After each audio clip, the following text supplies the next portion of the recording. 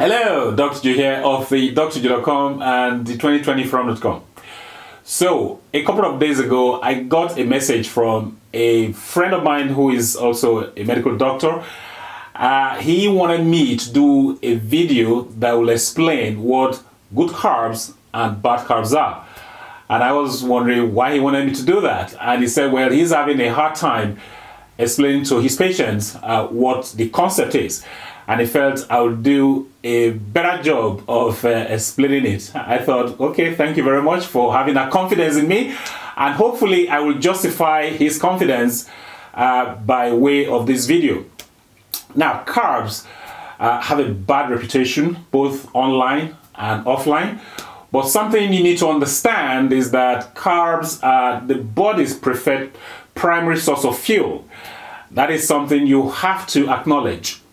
Now, instead of lumping all carbs together and giving them a bad name, what you want to do uh, is separate the good carbs from the bad carbs. And that's what we're going to be doing in this very video. So, here we go. So, we're going to be talking about good carbs versus bad carbs. And in this presentation, I'm going to tell you the things you need to know. And uh, to drive the point home, I'll give you some practical examples as well. So let's move on. Generally speaking, complex carbs are good carbs. In contrast, simple carbs are usually bad carbs. Here is a simple rule. Good carbs occur naturally in plant-based foods good carbs reside in plant based foods. In contrast, bad carbs are either added to processed foods or are themselves heavily processed. Okay, so that's one distinction uh, between uh, good carbs and bad carbs. Now, what that means is that good carbs are usually whole foods. Okay, so for instance, this is a sweet potato, and uh, this is a good carb. On the other hand, these are sweet potato chips or sweet potato crisps, depending on where you live. These are bad carbs, okay? These are bad carbs. Good carb, whole food, sweet potato, bad carbs, heavily processed. Good carbs are harder to digest. In contrast, bad carbs are easily digestible. And you're going to see the implication of this difference in digestibility shortly. What this means is good carbs raise your blood sugar gently after eating, whilst bad carbs raise your blood sugar fast, okay, fast after eating, causing blood sugar spikes. So this is brown rice. This is harder to digest, okay? Brown rice harder to digest. Just like we have this one here. This is red rice. Red rice, harder to digest. Now, if you compare that to Rice Krispies, which is easily digestible, or these uh, Kellogg's uh, Crunchy Nut Clusters, this is easily digestible, okay? And this will lead to a quick rise in your blood sugar levels. This will lead to a slower rise in your blood sugar levels. So good carbs, brown rice, good carbs, red rice, good carbs, Kellogg's uh, Rice Krispies or Kellogg's uh, Crunchy Nut Clusters, bad carbs. Good carbs stave away hunger much longer. In contrast, bad carbs make you feel hungry within two to three hours after consuming them. So here's another distinguishing feature. Uh, the degree and the speed at which good carbs and bad carbs make you feel hungry afterwards. Good carbs bring your blood sugar back down to baseline gently. In contrast, bad carbs crash your blood sugar swiftly. And this is known as the sugar crash. And that has implications because it makes you feel hungry. These are rolled oats. These rolled oats will stay away hunger for longer it's not going to lead to a crash in your blood sugar levels after eating them within a couple of hours. So, rolled oats, good carbs. Steel cut oats, even better, better carb as well. Okay, so good carb. Compare that to these donuts. This will lead to a quick rise in your blood sugar levels. And uh, what will happen eventually is you're going to have a crash in your blood sugar levels a couple of hours later. And uh, that will stimulate hunger. So, donuts, bad carbs. Good carbs have plenty of nutrients. They got carbs, okay, they got carbohydrates, they got protein, they got a small amount of fat. So for the most part, good carbs have all the macronutrients and some minerals and vitamins as well. In contrast, bad carbs are usually stripped of vital nutrients. Some are so nutrient poor, they just have calories and nothing else. Uh, these are the carbs we describe as having empty calories. So that's another distinguishing feature between good carbs and bad carbs. So what have I got here? This is corn on the cob. This corn here is whole corn. It's got carbohydrates, it's got some protein, and it's got some fat. But beyond that, it's got some vitamins and minerals as well.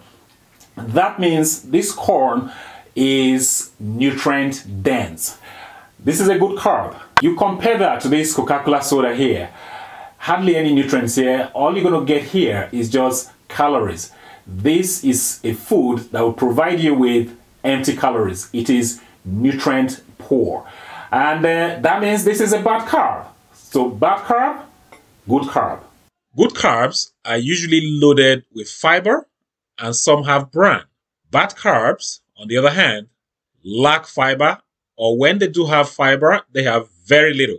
Another distinguishing feature between good carbs and bad carbs, the presence of fiber and how much fiber they got. These are red lentils. These are fiber rich, good carb. On the other hand, here we've got chocolate, hardly any fiber in here. This is fiber poor. So this is a bad carb. Good carb, red lentils, bad carb, chocolate.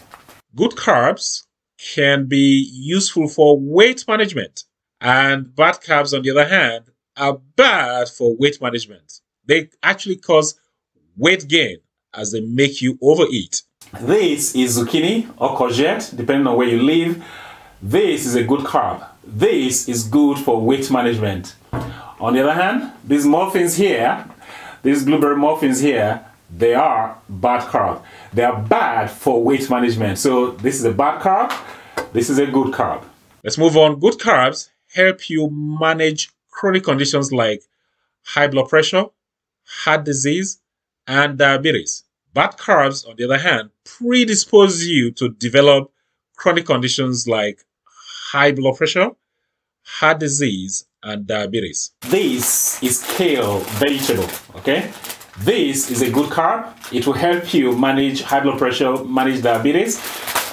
Good carb. On the other hand, these, these are cookies. These are bad carbs. These are going to predispose you to developing high blood pressure, diabetes, and uh, other chronic conditions. So, uh, bad carb. Cookies, bad carb. Vegetables, good carb. Good carbs are anti-inflammatory on the other hand, bad carbs are inflammatory. Let's move on. Good carbs feed your gut friendly bacteria. Okay? Your gut friendly bacteria, they love good carbs because good carbs, generally speaking, are prebiotics. On the other hand, bad carbs are loved by your gut's unfriendly bacteria, the pathogenic disease causing bacteria. This is an eggplant or aubergine, depending on where you live good carb. This is anti-inflammatory. Your gut-friendly bacteria, they love this, okay? Compared to this here, this is a cake. Uh, of course, uh, your gut-friendly bacteria, this is not the food for them. This is food for your gut unfriendly bacteria, the pathogenic bacteria, the disease causing bacteria. They will love this cake. And what that means is this cake is inflammatory. So eggplant, good carb, cake, bad carb. So hopefully you now have a clear concept of what good carbs and bad carbs are. And like I said earlier on in the video, the finger pointing should be towards these guys, okay?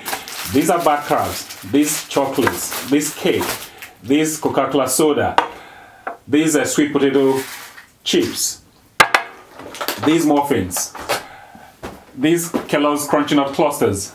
Those are the bad carbs. Those are the carbs that you should be avoiding as much as possible.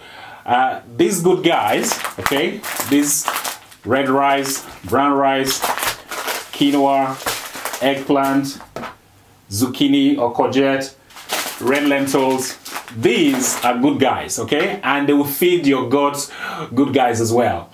These ones will feed your guts bad guys. So the concept should be clear to you now as far as good carbs versus bad carbs uh, are concerned. So hopefully you got some value from this very video. If you did, uh, please give the video a thumbs up. Please like the video and also please share this video with your friends, with your family, with your colleagues. Uh, if you got any questions regarding uh, this very video, go ahead, leave your questions down below. Um, I think that's about it. Until next time, well, this is Dr. Joe signing out.